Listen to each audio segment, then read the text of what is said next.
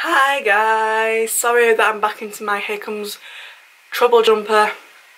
Like I've just filmed the Poundland haul and all that is down there. So I am filming a Asda haul today and I'm sorry about that background noise. It is raining outside and it's turning pitch black because it is always gone 4 o'clock and my laptop is currently running. And you can see that in the mirror.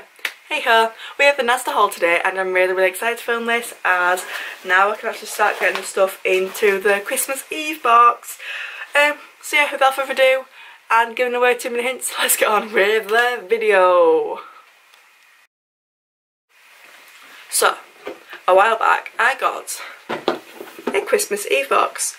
They've now got new designs in it Asda and Guiseley, so I'm probably going to exchange this for a different design as they have more of a family version and this is family version but they have more of like a older version if you like. So because it's my book for everybody's from me sister brother and mum I am wanting to get like the thing of other version. So this one just says the night before Christmas box. See the other one says Christmas Eve box so um, these are all two pound each and it is a decent sized box. It will fit thick it will fit heck of a lot of stuff in this it will as well so I'm going to get quite a bit of stuff for it. So I'll go Christmas Eve box because this year I want to do a Christmas Eve box like popcorn, DVDs and all that. They've put gift box in the bottom but yes, Christmas Eve box. And to go with the Christmas Eve box I have this bag of goodies. The Merry Christmas one from Mas Pound Primark. Forgot which one then. So as it's for my sister as well, I got some like kiddie stuff, like some Santa stuff, as she believes in him, and we all do in this house, but like she proper loves Santa. She's like constantly, we're like, who's coming Lucy, who's coming to see you next month? She's like, Santa Claus. I said this month, but yeah. I got her a Santa Stop Here um, door. Um, I forgot what you call it. And the clock gone off. It's like a door hanger. I don't know, it's got a, a handle door handle stopper sign, I think. Um, but they still just be for like the living room door where Santa comes through and like for the little the Christmas Eve box it was rather adorable. And I'm not going to wrap it up because it is kind of like a wrapped up box anyway. And I was only a pound. Then I'm just going to show you the Christmas Eve stuff first. And then I got this Dear Santa, we don't have a chimney as you plainly see but we still want you to visit so here's our magic key we do have a chimney but the fire is like we don't use the fire so we can't come through there as the fire is not an open fire it's like a different fire. So he can use this key to get through the door and it is super cute, it has a little tag on it and my camera's overheating, woohoo and then it just says Dear Santa um, we have a chimney and all that and then it has the magic key which is amazing for people that don't have um, chimneys and this is only a pound. What else we got?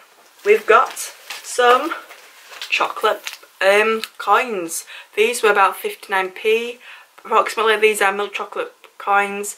They're perfect stocking filler and there's like a penny, 10, no, 10p, 20p, no, 10p, 2 pence, 2 pence, 2 pence.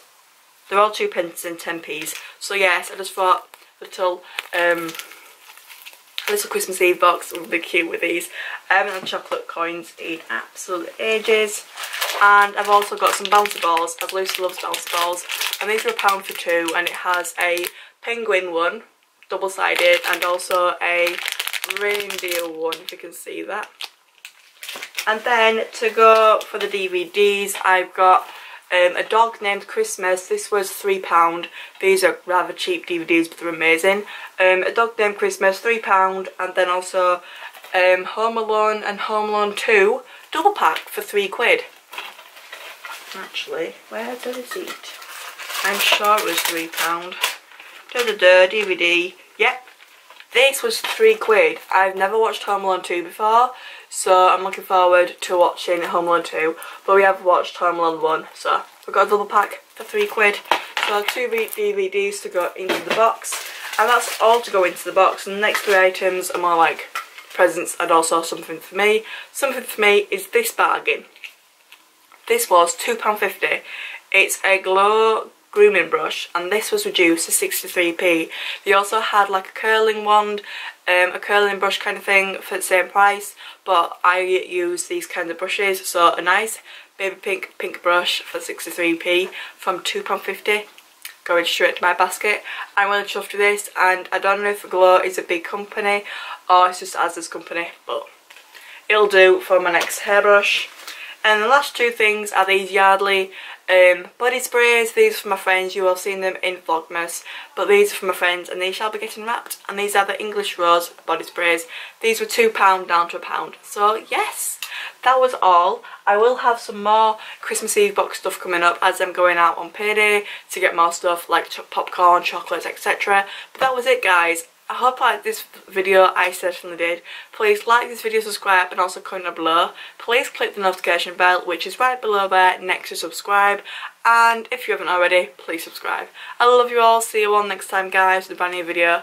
Bye!